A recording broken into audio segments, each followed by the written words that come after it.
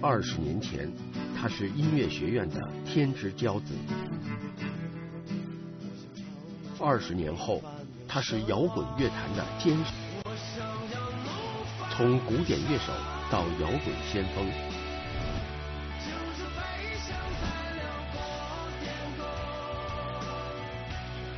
摇滚歌手汪峰。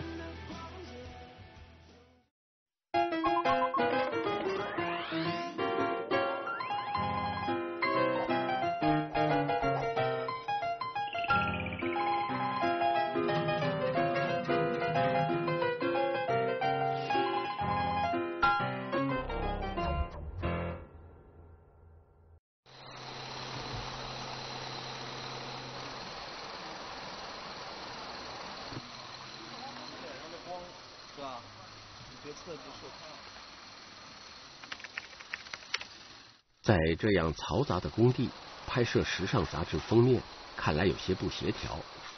但杂志的策划团队却认为，这样的环境很适合汪峰的气质。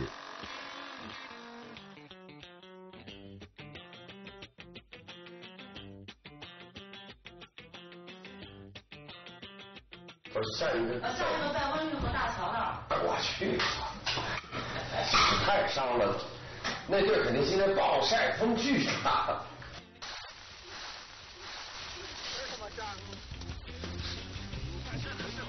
啊，脑袋再往那边一点，啊，对，腿过来。我跟你说是这样，啊，我我的脖子一直梗着，因为如果我脑袋全部躺下去的话，对，就埋进去了。啊，一个是埋进去，一个是头发就全会乱了。我知道。呃，你看那个手是不是一单手去撑起来，或者是用肘子撑地，单一只手。你知道这有多渣吗？这地方。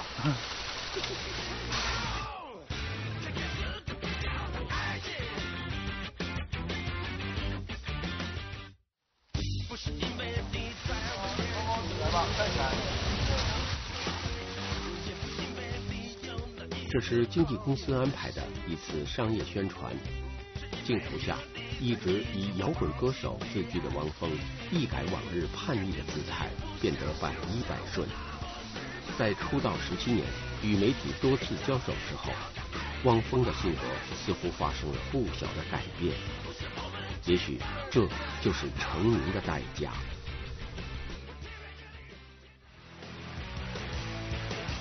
签约新经纪公司，不断推出全新专辑。即将开启的演唱会大幕，这一切对如今的汪峰来说看似都顺理成章。而在目前国内唱片业不景气的大环境下，很少有歌手能有如此的大动作。根据娱乐媒体的说法，这一切都源自于汪峰多年来积累的人气以及大量备受肯定的作品。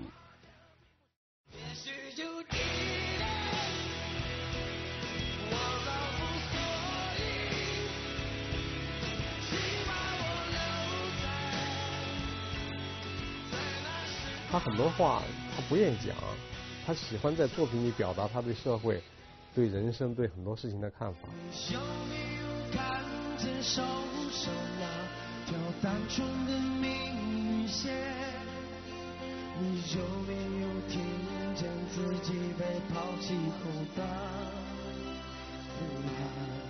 我一个人听他的唱的时候，总是能给我在某个瞬间有一个震撼，就是他的唱，他的嗓音。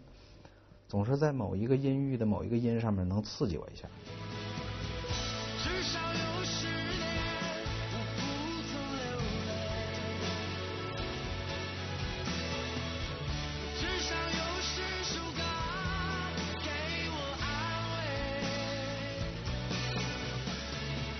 就是你会发现他的作品有一个很大特点，就是他很丰富，啊，很多的内容。就是从不同的角度，你都可以去理解。你比如这个，你是一个民工，你也能够唱出你的心声；但是你是一个博士生，他也会喜欢。为什么？就他们的内心里边那个共通点，那个它的宽度就很宽。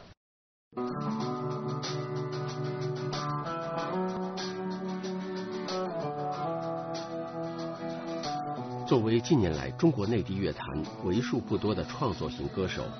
汪峰始终坚持每两年发行一张新专辑。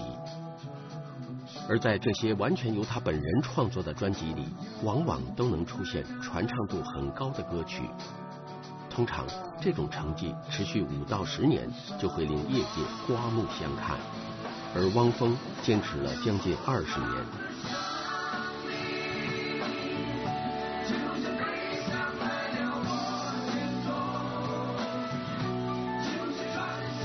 我觉得不写歌对于我来讲是可耻的。如果我第一张这这出完这张专辑到下一张了，两年时间，我居然还没写歌，我觉得自己是极其极其不可救药。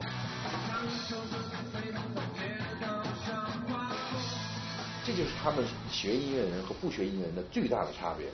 你你出一张专辑有灵感很可可能，你第二次灵感再能出一张专辑还有可能，第三次就不可能。那是完全不能靠灵感，是靠技术，靠你最基本的能力。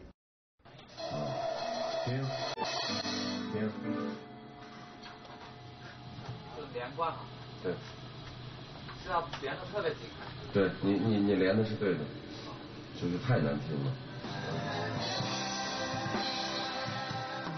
受过专业训练的音乐背景，在今天看来似乎是汪峰的优势之一。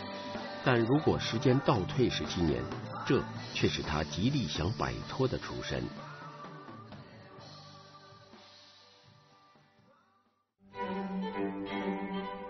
位于北京市西城区鲍家街四十三号的中央音乐学院。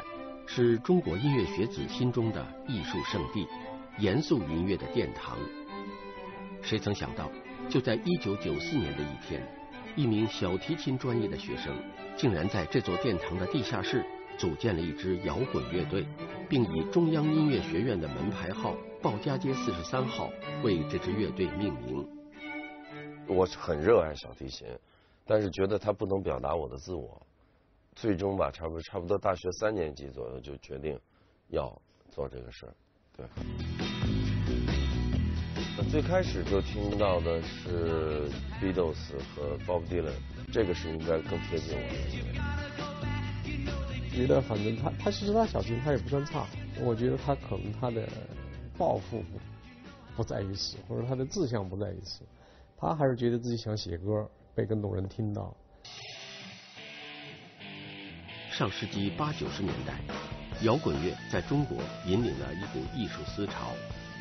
无论是威猛乐队来华演出，还是崔健在北京工人体育馆高歌一无所有，无一不在推动着这种音乐形式在中国的蓬勃发展。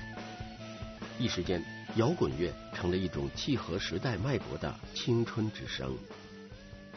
开始变成一个经济的社会，开始向着一个市场化去。快速演进，大家的心灵上还是调试不了。然后这个八十年代后期到九十年代前半期，可以说是中国摇滚那个最辉煌的时候。所以那时候有魔岩三杰，有这些重量级的歌星，然后年轻人非常的喜欢，而且大家觉得通过摇滚找到了一种青春的认同感。在这种激荡的氛围里。汪峰和他的乐队成员过着白天上专业课、晚上训练摇滚乐队的生活，并乐此不疲。每周末去演出，不是给老百姓听的，全是我们这圈子的，因为只有他们这些人，才是真正鉴赏、说你好还是你坏、觉得你有没有发展的，这些人才说了算的。主要就是说他们是来自音乐学院的学院派摇滚。其实我觉得这个词儿特别，什么叫学院派摇滚？真是太傻了。在那个青春激荡的年代，各种摇滚乐队不断涌现，而汪峰的鲍家街四十三号不过是其中默默无闻的一支。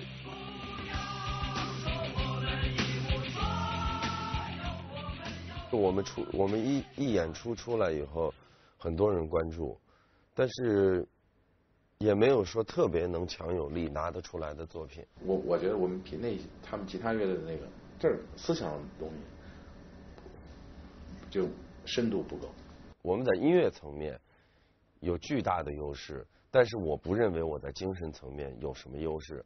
相对我们音乐学院那种环境，就是一个很封闭的一个地方。本身觉得生活很好了，你让他觉得对社会有什么看法、有愤怒，他觉得他不需要。我没愤怒，我所以你让他做出写出那有愤怒的东西，他写不出来。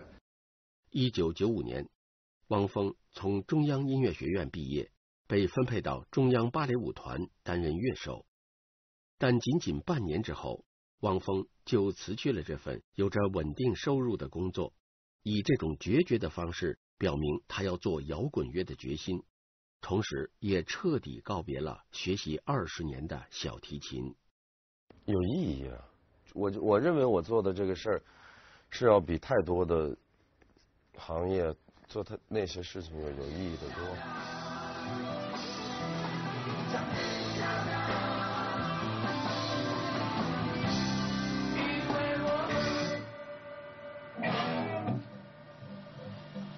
没这事儿就这样。早准备好了，就等你下菜了。你看啊。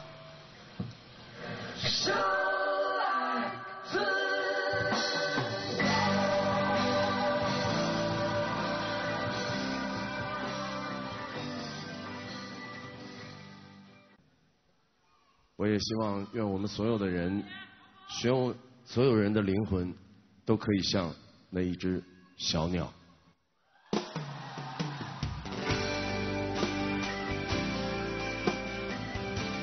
从五岁开始，生长在海军大院的王峰，一直以一种模式化的节奏生活。上学之外，每天至少要拉四个小时的小提琴，枯燥而乏味。而这是在海政文工团工作的父亲的意愿。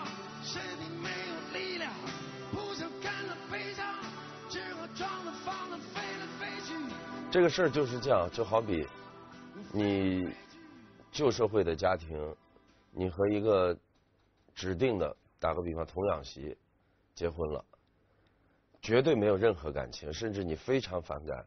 但是当你们生活了十年、十五年以后，你发现挺好。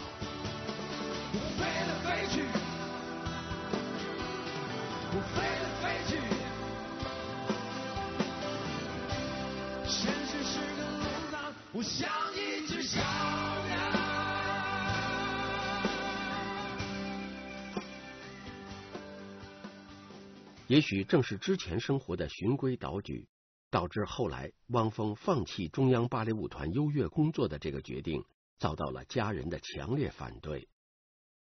对啊，应该说百分之九十音乐学院毕业的，哪有说来来做流行歌手，哪有说来做摇滚乐队的？因为在他们的这就是，哪怕到今天的这个学院的价值体系里头，这都是算在下面的，绝对不算高级的，对不对？做这个有希望吗？你国家有让你这样做吗？头发留的那样，让人觉得就像回海军大院，我那哨兵都不让进，因为他们的军管军事地区嘛，这以为流氓呢不让进，让你们家人接你才让进。我经常回家我会冲这个大回家去。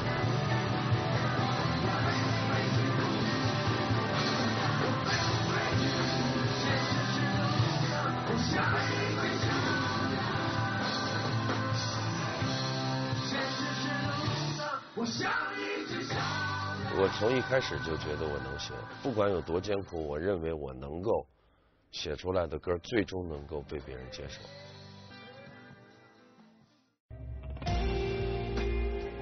上世纪九十年代后期，是中国摇滚开始慢慢走向衰落的时期，许多乐队纷纷解散。鲍家街四十三号的处境同样不容乐观。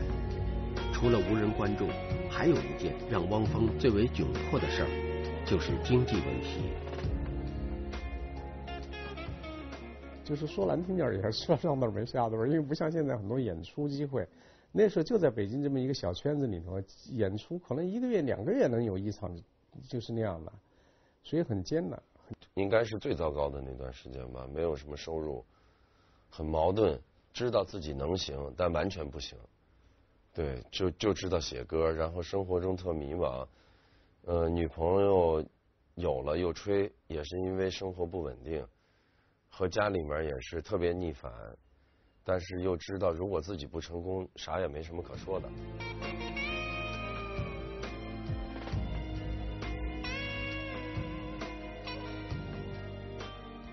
那段时间对他以前美好生活是一个巨大的一个反差。那么他这个困苦的环境当中，我觉得他他写了很多东西出来。不久之后，一首由汪峰创作、题为《晚安北京》的歌曲开始在电台反复播放。这是一首在当时摇滚乐坛引起轰动的歌曲，直到今天还是汪峰演唱会上的压轴曲目。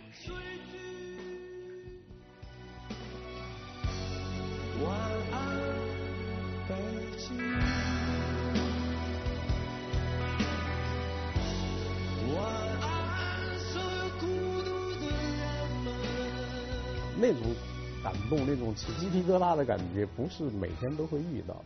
但是我承认，就我第一次听到《晚安北京》，我我很激动。就他把一个生命的那种脆弱的感觉，你被抛到一个大的环境里边，你那种无所适从的脆弱感，这个他表现的有力。《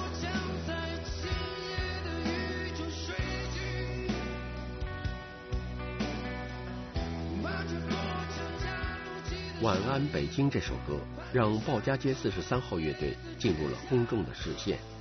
但那时的摇滚乐，不管在媒体还是在商业上，都已处于被压抑的状态。之后的几年时间里，虽然出了两张专辑，但鲍家街四十三号乐队的生存状态却没能发生太大的改观。他有什么那英火吗？他有毛阿敏火吗？对吧？那你熊，你跟他们是根本没办法比的，就是说。对不对？人家可能每天都有演出，每个星期要走两次线。那时候我们签磁带，人说给你签多少盘？五千张嘛，就是五千五千盘磁带。那人家卖多少，我们都根本就不知道。一一张一盘磁带两毛钱吧，给我们。那我说我们怎么花五千块钱？五千两毛钱，几百块钱，这就是我们的收入。五年代价就是这样。当时更多的是觉得自己怀才不遇，觉得。对真正好的艺术，对真正一些人性的东西，来自于社会的压力和曲解太多了。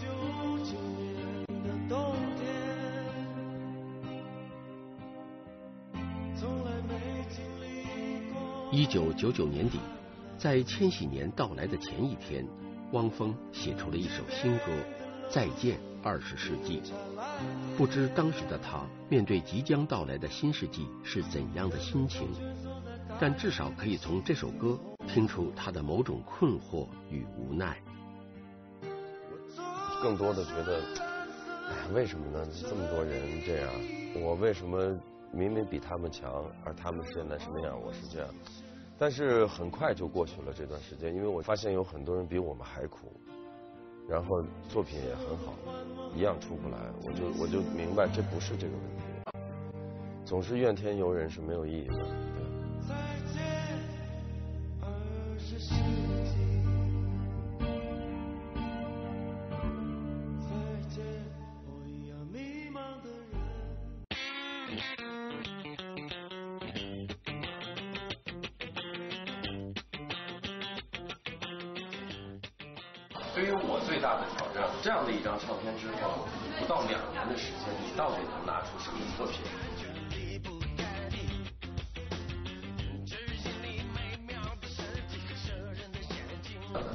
一定是听听者，对大家现在有这样的感觉，我会觉得比较自豪的是，我代表的是摇滚乐。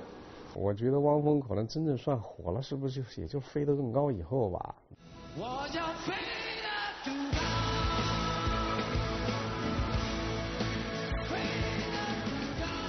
二零零四年，在解散鲍家街四十三号乐队并签约华纳唱片之后的第四年，汪峰剪去长发，并以一首《飞得更高》红遍了大江南北。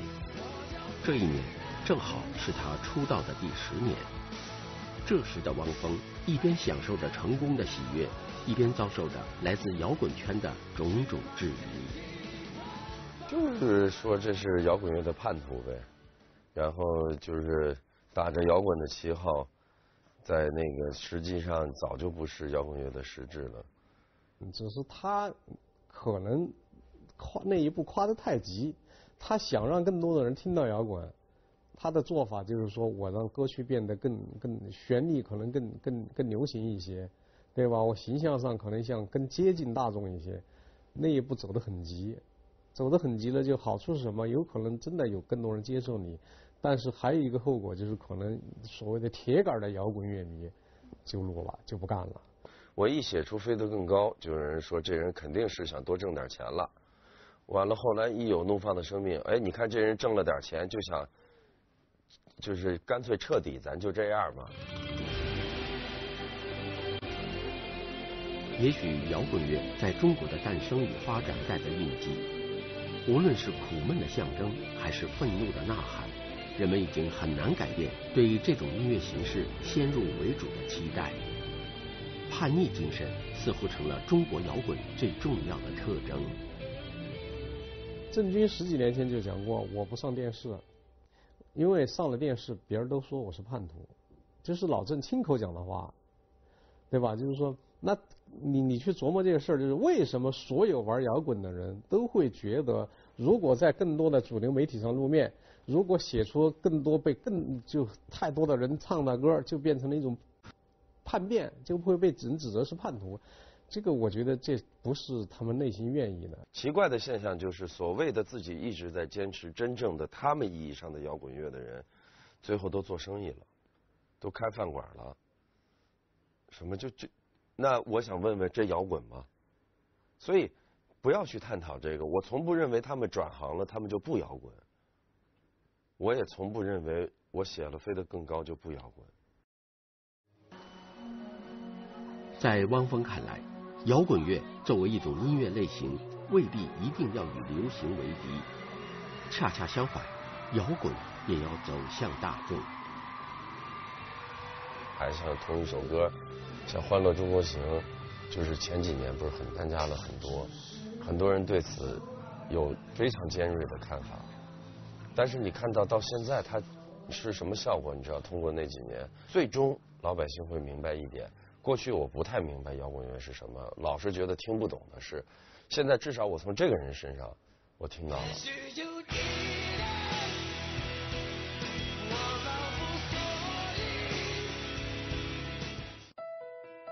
传承一千六百年书风，连续七小时创作。他不是职业书法家，却写出了大英博物馆收藏的首件当代书法作品。一个坚持把书法艺术最传统一面展示给世界的传播者。中国书法家刘仁刚。